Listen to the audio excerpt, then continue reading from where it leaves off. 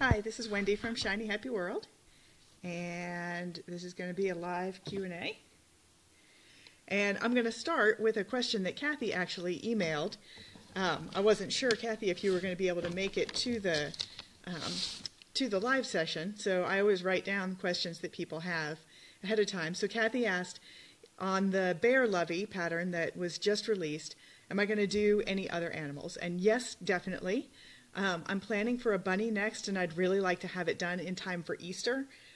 I'm testing out a couple of different things with the ears, and I don't have any samples here because right now I'm just testing them in my head. I usually work through a lot of different variations in my head before I ever make a prototype.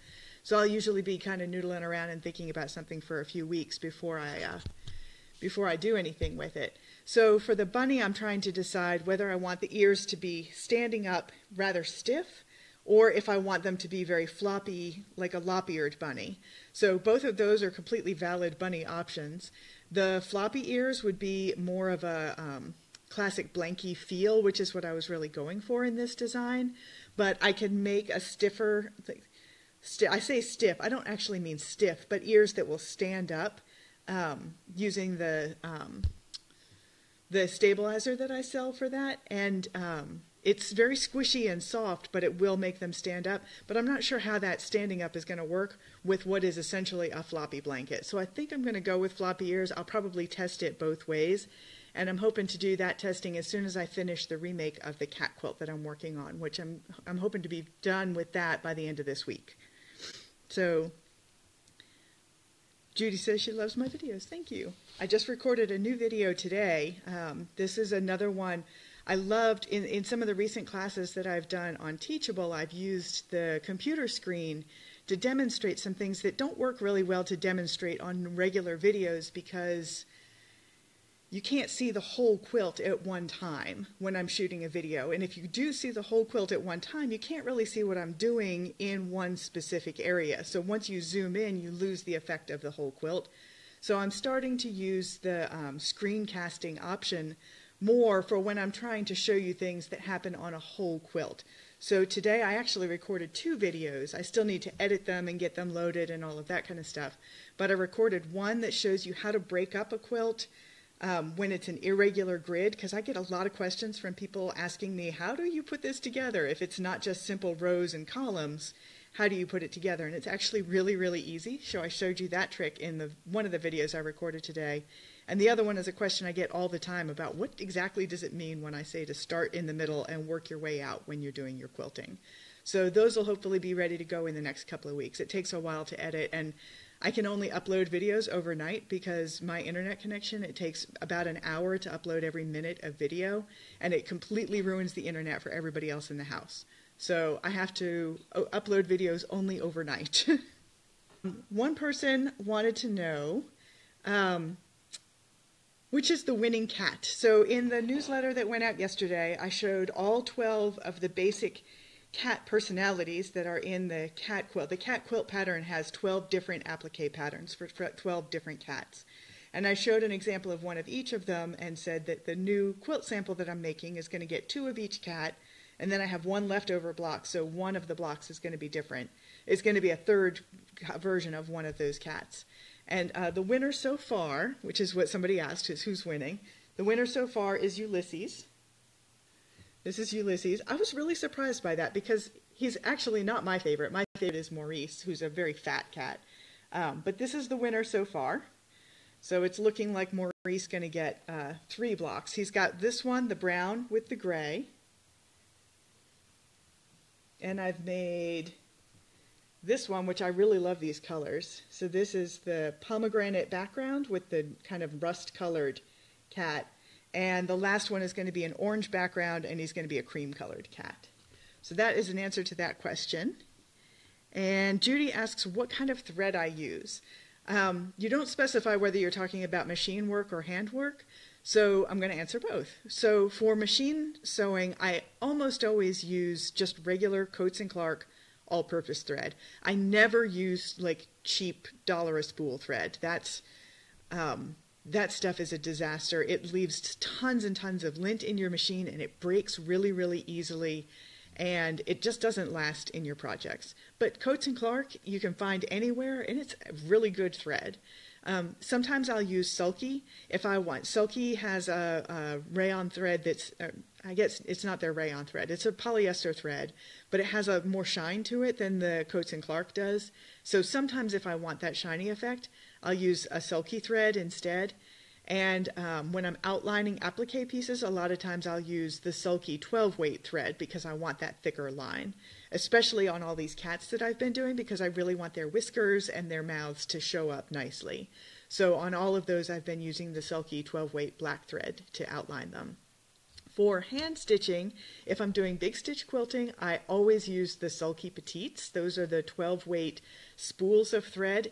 They're the same thickness as two strands of the DMC floss, but they're more round than if you use two strands and you don't have to worry about the threads separating. And I really like the shine of them. If I'm just doing regular hand embroidery, sometimes I'll use the Sulky 12 weight thread for that as well, but more often, just because there are a lot more colors available and I have more control over the thickness, I'll use regular DMC six-stranded embroidery floss. So those are the, all the different kinds of threads that I use.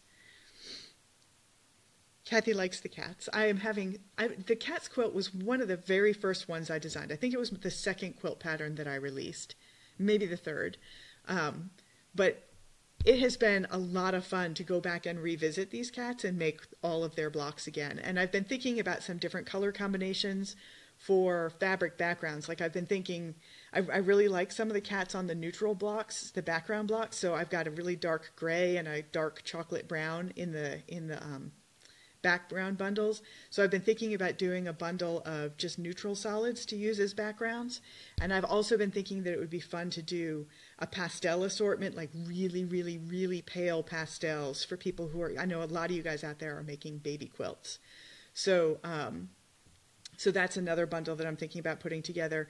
And somebody recently shared a quilt that had almost all greens as the backgrounds. And I have been thinking for a while now that it would be fun to do um, some background bundles that are all different shades of the same color. I thought I might start with blue and pink for the two baby, you know, the two baby options that so many people use, and then if those sell well, expand. But I'm not going to be able to do any of that until we move, which is going to be later this year, because I don't have, I physically don't have the space um, anymore to store any more fabric in a safe place. Like I could leave it sitting out on the floor, but then it's going to get damaged in the sun. So um, all the places that I have to stow fabric safely out of the sunlight are full. So I can't do any different fabric bundles until after we move. Kathy gives another vote to Coats and Clark. I do like Coats and Clark thread. It's um, it's just a really good basic thread. So I showed the winning cat and I answered the question about plans for other animals. So somebody wanted to know what handwork I'm working on and I forgot. Hang on a second. Let me just go grab it. I was working on it on my table right behind me. So I just finished all of the fancy stitching. This is a, a pillow cover that I made. Well, it's not a pillow cover yet. Right now, it's just a piece of fabric. But uh, it's going to be a pillow cover, and I made this for the um, Big Stitch and Patchy Patchwork quilting class that I released last month. And I left, for the class purposes, I left all of these patches half stitched because I wanted to show what the fabric looked like with the stitching and what it looked like without the stitching. So now that the class is released, I've gone back and I've finished all the stitching on all of these patches. And I just, um, I just took it out of the frame the other day. So now I need to wash it and turn it into a pillow cover and then um, then I'll get my big quilt from that class framed up again in that in my quilting frame and go back to that. But in the meantime, I've been doing a lot of um, English paper piecing, which is really fun. So I grabbed my stuff that I've finished so far. I'm really this is just kind of my in between in between project. It's what I work on when I have no other big projects that are due. And I've got this bin of the hexes that I've already done the basting on. And then these are some of the hexes that I've made. So I'm just doing just very simple shapes. And I'm about ready. I had these laid out to try and figure out how many it was going to take me overall. So that's what I was working on on my table. Each of these is about six inches across. So I need to figure out how many I should keep doing in blue before I stop doing blue. Um, and then I've got some some pinks that I've just started, but I haven't gotten made bigger yet. So um, that's going to be a big lap-sized quilt, and it'll be all hand sewn. And after it's done, I'm going to do big stitch quilting on it because I'm obsessed and I can't stop. So that is the handwork that I'm working on. Judy asked what sewing machine I sew with. And I sew on a Bernina 710. I love it. I love this machine so much. It does a couple of things that I really, really like. And I always tell people just because I love the Bernina 710 does not mean that it's going to work right for you. So I'm always really reluctant when people ask me to recommend a sewing machine because it totally depends on what you're going to be doing with it. So you always want to test drive it and think really hard about what you do with your machine all the time and the features you would like it to have. I do a ton of embroidery, of applique, and so the Bernina 710 has a couple of features that I really, really like. One, it'll stop with the needle down, which the Pfaff that I had before was also a beautiful machine. I had that for 10 years, I think. My, my mother in law gave that to me when my daughter was very, very young because I was sewing things for her, and my machine that I had, this like my beginning Kenmore machine, was making me crazy. I was trying to do applique, and it was making me crazy. So um, this stops with the needle down, which is really, really nice. It stops with the needle down, and then it'll half raise the presser foot so I can pivot it, and that makes it really nice for going around tight curves. You can stop and do all of that by hand, but I do so much of it that that's a really valuable thing for me. So that is like my number one favorite feature of it. I also love that it ties knots for me. So when I finish sewing, I can just push a button and it does a couple of stitches in place and ties a knot underneath and cuts the threads, which is magical. It doesn't do free motion, but I bought the level that you could add the free motion, the, the Bernina stitch regulator to. It's really expensive to get that, and I didn't need it yet, but I knew I might want it someday. So I made sure to get a model that I could add that to later because I do think it would be fun to do the free motion quilting with the quilt as you go technique that I use. So that's my machine. It's the Bernina 710 and I love it. Donna says it must be difficult to know how much to have as inventory for all the possibilities of background and applique. It really is. And I feel really bad when I run out of things because then people get understandably cranky. Like you want to make a quilt for somebody's birthday and there's a deadline looming and I'm out of something. And a lot of times when I order it, I've got like 12 colors in that bundle that I want. And if the fabric company is out of one of those 12 colors, I'm out of luck until they get that last color in. And sometimes there just is no other substitute. So I have to just wait until they get that color back in. So I'm always trying to guess on what everybody is going to want. And, and but I love having options. It's one of the reasons though that I I have bundles that can be used for more than one quilt. So I have like the warm neutrals, which works for the woodland critters and it works for the farm animals and it works for the safari animals and it works for the cats and the dogs. So that there's one bundle. So I don't have to have inventory for every single individual quilt. And plus, it leaves then you guys the options to say, oh, I want to do this, but I want to do it with the rainbow brights because this is I want it to be a more playful and fun looking quilt. So you can take the same design and do a completely different um, color palette with it. And I've got these kind of color palettes that are ready bundled together. So I'm I am working toward later this year offering more options. It's just going to my new house is going to have a huge walk-in closet for me to store all the fabric in, completely out of sunlight. And I, I kind of have to just hold off until I have that as an option. Because right now I have it stored in like weird, weird makeshift things that have like blankets over them to keep the sun out and it's just it's just kind of awkward and weird and it involves every time I pull things out like lots of unpacking and unpiling. So Kathy likes the hexies. I got to say I have a lot of fun making these hexies. It's just it's hand sewing and I love hand sewing and I, I'm just a sucker for it. I could do it for hours at a time.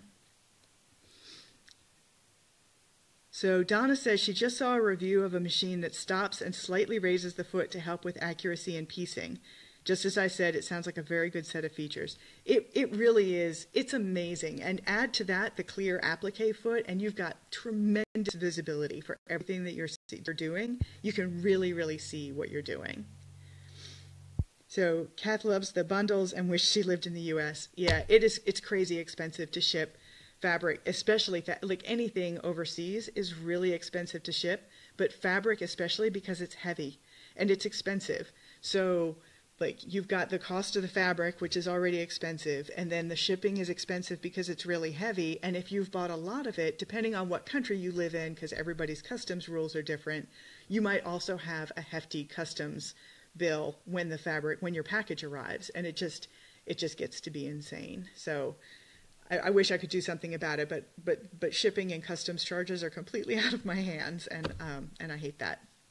So I am always happy to. I always tell people like exactly what the fabrics are that are in all of the bundles, so that if you need to buy it someplace locally, you can do that.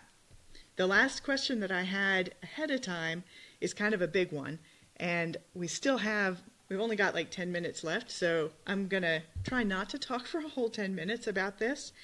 But um, but the the last question was wanting to see what I'm working on with the dinosaurs because I had a little hint in the newsletter on Monday. I had a link to my Pinterest board for dinosaurs so you could get a peek at just a hint about what I'm working on. And the dinosaur quilt is going to be next, which lots of you were excited about.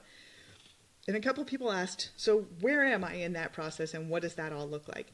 So I just finished drawing all of my dinosaurs, which is for me the most stressful part of the whole process because I don't I don't have any training for drawing and it's kind of the weak definitely the weak link for me. So I stress out about it for weeks ahead of time and actually for the dinosaurs, I have been stressing out about this dinosaur quilt for years now. I have been thinking about this quilt.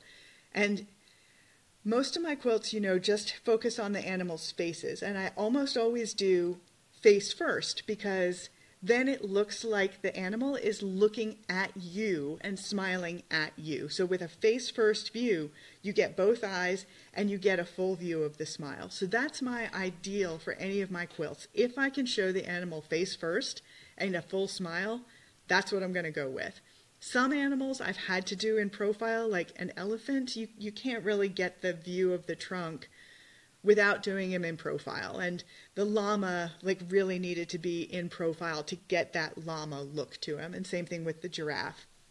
So sometimes I do the animals in profile, but I prefer not to. And even when I do them in profile, I've still been able mostly to zoom right in on the face. And that wasn't going to work with the dinosaurs because if you just show a dinosaur face, so many of the distinctive characteristics of the different dinosaurs are in their body shape. So like you can't do a stegosaurus without showing all of those plates on their back and you can't do a triceratops without showing those forehead horns. And you know a t-rex you could do just his face maybe in profile but you would lose the fact that he's standing up. And so i really needed to do these animals full body and in profile.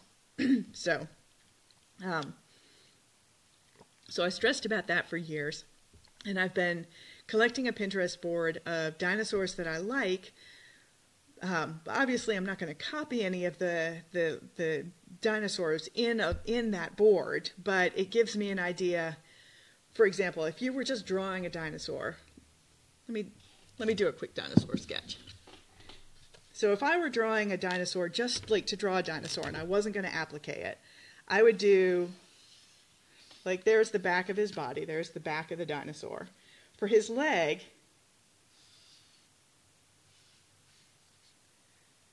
okay, that's really bad because I'm just doing this and people are looking at me. But I, I would do the leg with his, the belly coming out underneath it, but, but you can't do anything with this line with applique. So that's what I call a dead end line, and there's no way to do that in pieces of fabric. You would have to like embroider that line on there or stitch it somehow, but that would be really weird to transfer. And so an option is to enclose that leg so that this is a separate piece of fabric from this piece up there. But I wanted to use this dots fabric, and I've only got one of each color on there. It's not like the Rainbow Brights fabric where I've got a dark and a light, um, or a dark and a medium of the the same color, so it gives it makes it easy for you to do kind of slightly contrasting things, like to have a cat and give him a slightly different ears, but the same color family, for example. So I didn't really want to do that. So I ended up going with, with legs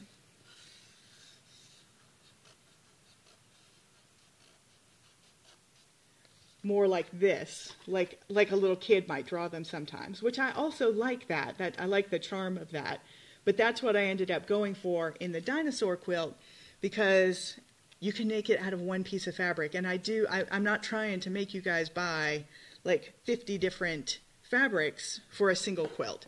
So for this one, you're going to be able to make each dinosaur, almost all of them, out of a single piece, which I think is going to be really easy and fun to stitch. But I'm going to show you a couple of my dinosaurs. So I've got I've got an Ankylosaurus. Um, I like how the Triceratops turned out. He's going to be cute. So I wanted these to look, I didn't want them to look like scary dinosaurs. Of course, I've got an Apatosaur. So I draw all of these just on scrap paper. Um, it's paper that's already been printed on the back. And I, I use a square ruler template and I draw square so I know what shape I need to fit in. It's much smaller than the actual finished quilt blocks are going to be though just because I could stick this on a clipboard and sit on the couch and draw or stand. I, I don't need to have big pieces of paper to draw and it's just it's easier for me to draw at that scale and like I said I'm not good at drawing so it's like I take every advantage I can get. So I draw it and draw it and draw it and then I throw away the ones I don't like, and I ink over the ones that I do like, and then I scan them and I send them to an artist who knows how to turn it digital. So what she does is she takes my scans and she traces over them in Adobe Illustrator, which turns them into a vector file, which means that you can enlarge it without it getting blurry. If you take any other, like if you just take a scan of your image, if you take a JPEG and enlarge it, it's going to get blurry. So I used to draw them, scan them, enlarge them to the size I wanted them to be for the block, print them out, and then trace over them again so I would have a clean line instead of that blurry line. So by hiring somebody who knows how to use Illustrator and has Illustrator, I skip that step. So they're with her right now. She's going to draw over my drawings and send them back to me. And then from there, I'll be able to enlarge them to the size that I want to fit in the blocks. And they're going to be the same 10 inch blocks like all of my other quilts so that you can mix and match blocks.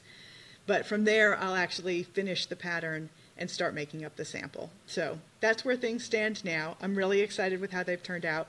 In addition to the din, I think I've got 10 different dinosaurs, and then I've also got a volcano and some clouds and some different plants. So you can put some of those prehistoric looking palmy kind of plants in there. So I think it's going to be fun, and I, I'm really looking forward to doing it. I'm so glad that I'm finally making this. But this is going to use that Dots fabric bundle that I just released, um, and I love, love, love, love the colors and the print on those. One of the things that's really hard with something like this is that I look at it and I think these drawings are terrible because they're super, super simple. Like, here's my T-Rex He's a very friendly looking T-Rex.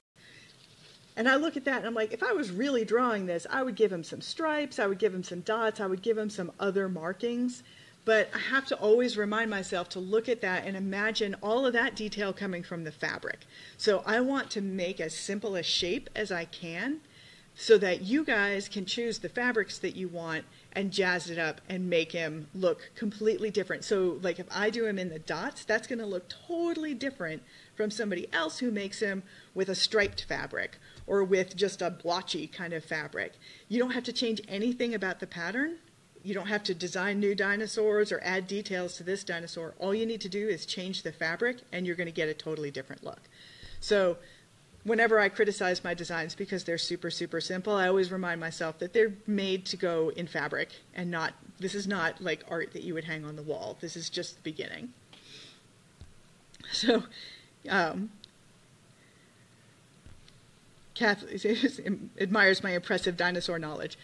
You would not believe how much time I have spent in the last couple of years studying dinosaurs online. So, I'll, like, I'll look at the I'll look at the Pinterest file and see what people have done with those basic dinosaur shapes. Like, I'll see a Triceratops that I like, and then I'll go and look at a drawing of an actual Triceratops, and then I'll look at it and figure out how they adapted it, and then I will do those same kind of adaptations. So if you look at my Pinterest thing, you might see like some of the dinosaurs in there have those stubby legs like that. So I did stubby legs on like all of my dinosaurs. And some of them have, um, I, like I really struggled with the mouth. And I ended up doing, since they're all in profile, they all have an open mouth. So you guys are never going to have to stitch a half smile coming in from the side of the face. Um, that was just going to be tedious and kind of unnecessary. So now they all have an open mouth. So you don't have to do any, you don't have to mark a line for the mouth and you don't have to stitch over the line for the mouth. So, but there were like one or two in that Pinterest board that had an open mouth, and I was like, oh, that'll be much easier for people to sew. So, those are the kind of design des- decisions that I make when I'm looking at that Pinterest board of all of those different dinosaurs that I like. So, Judy says she's been making a quilt for her son, but she's disabled, so she uses Quilt as You Go. Any advice? Um, I'm not sure what it kind of advice, I'm not sure if you're still talking about sewing machines. Um, yeah, that was Judy that asked about the sewing machines. Um, I do like the Bernina for Quilt As You Go. Again, it's it's just really easy to maneuver things. I love the quarter inch foot that the Bernina has, which is actually a two part foot. It's very awkward to put on and take off, but once it's there, it's like a wall, and you get a nice, accurate quarter inch seam when you're joining your blocks together. But I do love the I do love the 710 for Quilt As You Go, and that's almost all that I do. I mean, I do a little bit of other sewing, but almost everything is what you guys see me have in the shop. So um, mostly quilting, some stuffed animals. I haven't sewn clothing since my daughter was pretty little, so I'm not good at sewing clothing. Um, Kath wants to know if I've drawn a Sewosaurus. I did not. I didn't. I didn't even think about going beyond the actual dinosaurs.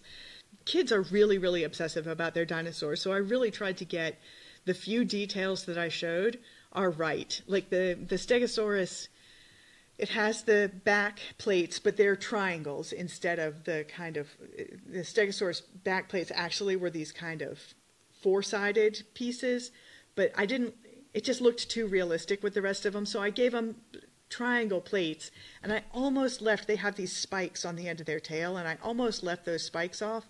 But when I was a kid, Stegosaurus was my favorite dinosaur, and like I loved that spiky tail, and I loved imagining them like swinging that around at their you know whatever they were fighting. So I did I had to put the spikes on the tail because I felt like that was a really key thing for the Stegosaurus. So I did try and go for accuracy because kids who like dinosaurs really will know the difference. So yeah, Donna says she likes the variety of adding the plants and other atmospheric elements to the design of the quilt along with the dinosaurs. And Kath says, me too. So one of the, just to kind of throw this out there, one of the things that I'm still deciding is what the background blocks are going to look like. And I think I've settled on I want a block that has land and sky. Like you could totally do these dinosaurs on just a solid background block and that would be absolutely fine. But with the with the volcanoes in there and with some clouds and I do have a pterodactyl, I've got um, I wanted some sky in there, but I didn't want to have some sky only blocks.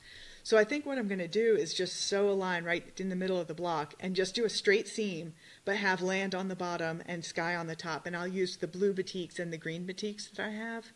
And um, that way you can place the dinosaur on the ground, but have his head towering up into the sky and maybe put a cloud over there.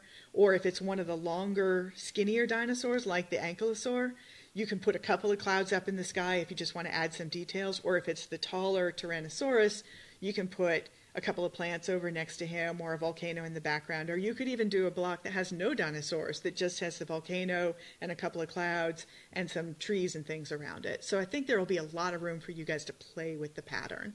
But I'll probably do up a couple of samples also just with a solid background block so people can see that option. I want to start doing that with more of my quilt patterns, showing you a couple of different options for ways that you can put them together. I'm even thinking about maybe doing sashing on this one.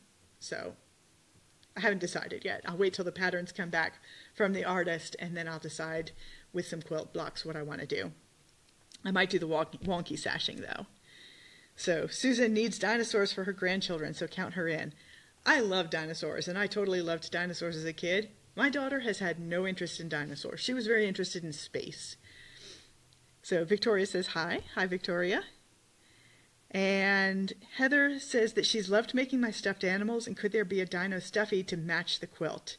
And she guesses Dexter could be modified. Dexter could very easily be modified to turn him into a, a dinosaur. I've always felt like dinosaurs and dragons are fairly interchangeable patterns.